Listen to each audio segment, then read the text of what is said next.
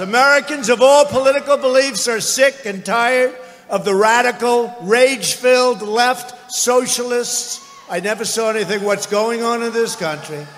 What's going on in this country? The Democrat, really, the Democrat Party is the Socialist Party and maybe worse. Voters are making a mass exodus from that party, and we are welcoming them to the Republican Party with wide open arms.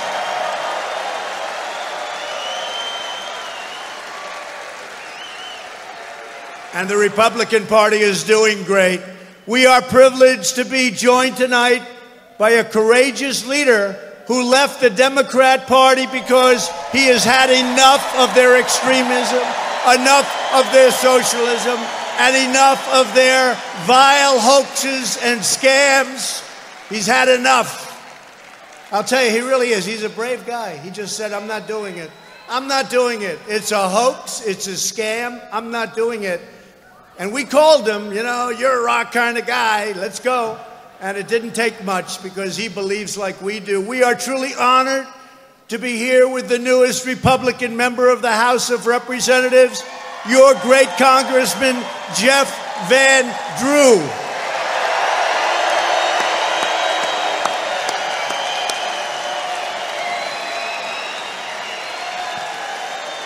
And I have to tell you, a few weeks ago, Jeff was one of the few brave and principled Democrat lawmakers.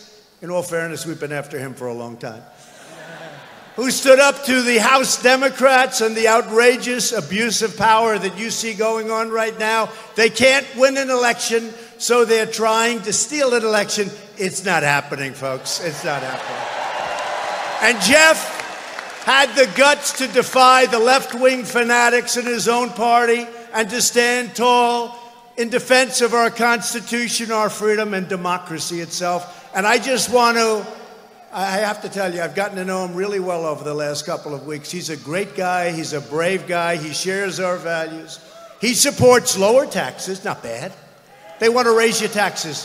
How did that work, Jeff? How did you get elected with that one?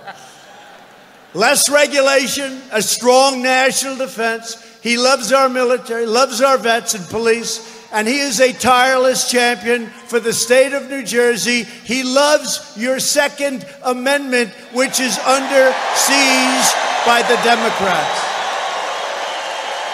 Jeff, it's an honor to be with you. Please.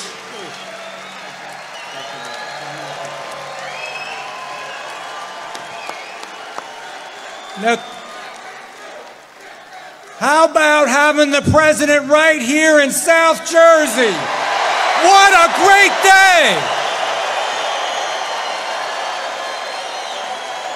Now, I heard that the folks in this room can make more noise and more applause than anywhere in the world. So, we're going to do one more time for this man right here.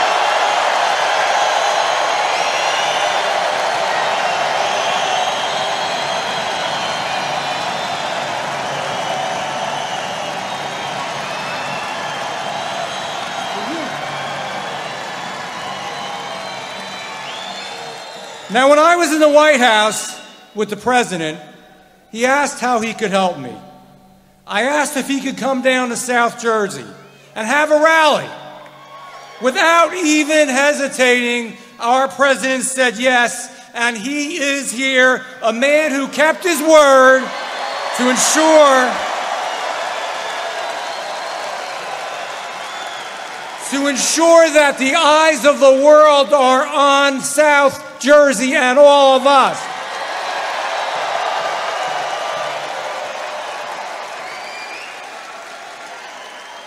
The USA is a great nation, the greatest nation that civilization has ever known. Do we want to keep it that way?